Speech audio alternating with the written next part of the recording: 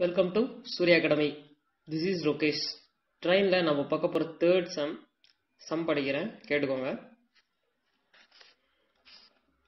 A two fifty metre long train passes a standing boy in five second how long will it take to cross a bridge five hundred metre long அதாவது என்ன சொல்லியிருக்காங்கன்னா இருநூத்தம்பது metre train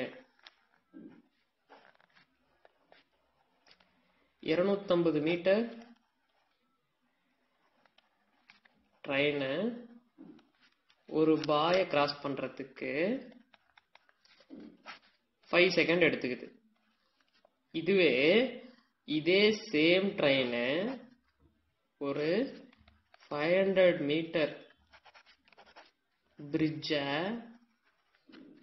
cross பண்ணுறதுக்கு எவ்வளோ time எடுத்துக்கும்? இதுதான் question அதாவது இங்க என்ன நல்லா பாருங்க. இந்த பையனை கிடக்கிறதுக்கு இந்த 250 மீட்டர் ட்ரெயின் லென்த் இருக்க ட்ரெயின் வந்து ஃபைவ் செகண்ட் எடுத்துக்குதுன்னு சொல்லியிருக்காங்க. ஆனா இந்த ட்ரெயினோட ஸ்பீடு எவ்வளோன்னு தெரியல. ஸோ இந்த ஸ்பீடை கண்டுபிடிச்சோம்னா அந்த ஸ்பீடை வச்சு இங்க நம்ம டைம் கண்டுபிடிச்சிடலாம். ஸோ ஃபர்ஸ்ட் நம்ம ஸ்பீடு கண்டுபிடிக்கணும்னா ஃபர்ஸ்ட் இந்த ட்ரெயின் டிஸ்டன்ஸ் அப்புறம் டைமை வச்சு நம்ம ஸ்பீட் கண்டுபிடிக்கலாம். Speed equal to distance by time டிஸ்டன்ஸ்னா என்ன?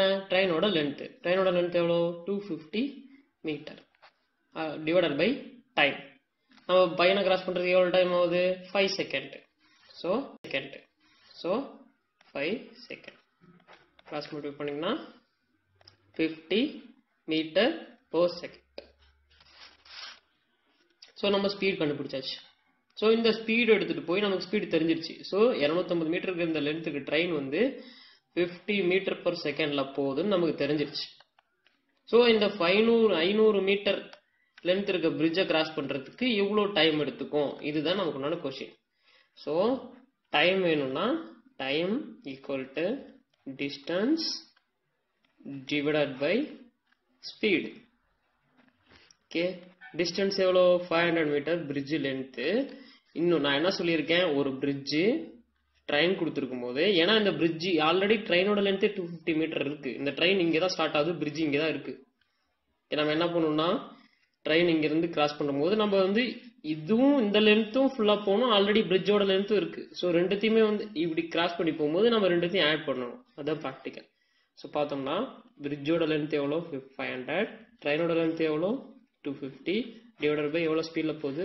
Fifty equal to seven fifty divided by fifty காசு பண்ணால் ஃபிஃப்டீன் செகண்ட் ஃபிஃப்டீன் செகண்டில் இந்த ட்ரெயின் ஃபைவ் ஹண்ட்ரட் மீட்டர் பிரிட்ஜை வந்து கிராஸ் பண்ணிடும் ஸோ மறக்காமல் லைக் அண்ட் சப்ஸ்கிரைப் பண்ணுங்கள்